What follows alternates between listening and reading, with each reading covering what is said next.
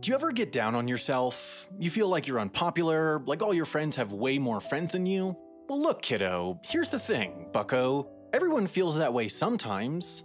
Now, some people will tell you that it feels that way because of the false lens of social media or because you're being too self critical, but I'm here to tell you that you feel that way because it's true. Your friends are more popular than you. Seriously, I can prove it. With math. It's called the friendship paradox, and it was first described by mathematical sociologist and guy who should never be a middle school guidance counselor, Scott L. Feld, in a 1991 paper in the American Journal of Sociology entitled Why Your Friends Have More Friends Than You Do. The simplest way to think of the friendship paradox is as a form of sampling bias. So, if we were trying to figure out how many friends the average person has, we'd have to think of all the people in the world and how many friends they have. Let's call that a friend count, and we just take the average of all the friend counts. But if we were trying to figure out how many friends an average person's friend has, we'd have to do something different. We'd call up every person in the world and we'd say, please list the names of all your friends. And they'd say, how did you get this number? Or more likely they'd say, dao and then we'd have to explain that we aren't really calling them and that this is all part of a hypothetical scenario. That would calm them down, and eventually every person in the world would give us a list of their friends' names. Assuming that most people have more than one friend, we'd end up with a list of names that's way longer than the number of people in the world. How? Because there would be a bunch of repeated names on there. Now, we have to ask ourselves, who will those repeats be? Well, overwhelmingly, they'll be people with a lot of friends. After all, if you have a lot of friends, then when people get asked who your friends are, your name will come up a lot. The effect is that when we average the friend counts of all the names on this extra long list of friends, the high friend counts of the people who are on the list a lot will bring up the average, meaning that the number of friends held by the average friend will always be higher than the number of friends held by the average person.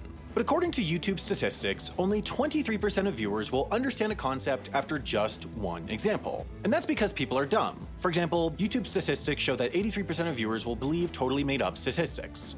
So let's do another example. Let's pretend like everyone in the world died in a robot apocalypse except for three people who betrayed humanity to the robots in exchange for their own survival. And for no particular reason, let's name those three people Bill, Jeff, and Elon. Bill is friends with Jeff and Elon. But Jeff and Elon are not friends with each other. So Bill has two friends, and Jeff and Elon each have one, so the average number of friends a random person on the island has is 1.33. But now let's take the average number of friends someone's friends have. Hey Bill, who are your friends? Jeff and Elon. Okay, Jeff, who are your friends? Bill and Elon? Also just Bill. So now we have a list of people's friends. Jeff, Elon, Bill, and Bill. Look at that, Bill shows up twice, just as we expected. So when we now average how many friends the average friend has, we have to count Bill's high friend score twice and find the average is 1.5, higher than the 1.33 of an average person. Essentially, unlike the number of friends an average person has, which is a simple average, the number of friends an average friend has is a weighted average, and necessarily, popular people will always be weighted more. Now, the averages thing is a mathematical truth, but as rapper Pitbull once said, mathematical averages can often lead to misleading real-world conclusions. Mr. Worldwide. If middle school taught me anything, it's that popular people are more likely to have popular friends, unpopular people are more likely to have unpopular friends, and that people with no friends tend to start YouTube channels.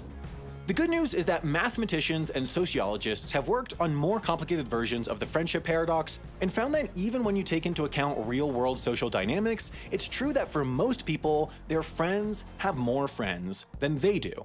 The friendship paradox isn't limited to friendships. In fact, researchers have a number of other ways they can use it to embarrass us. The same math also proves, for example, that most people's sexual partners have more sexual partners than them. Also, data showing that more popular people tend to be rich and good looking means that in addition to being more popular, most people's friends are, on average, richer and better looking than them. And even the hot, rich, popular, promiscuous researchers weren't immune. A 2014 study found that, on average, a researcher's co-authors are more prominent and well-published than they are. But it turns out that all this research wasn't just to make us feel bad. The friendship paradox actually has at least one useful application studying infectious disease. A 2010 study tried to detect a flu outbreak by tracking two groups. One was random, but the second was comprised of friends that the random group members recommended.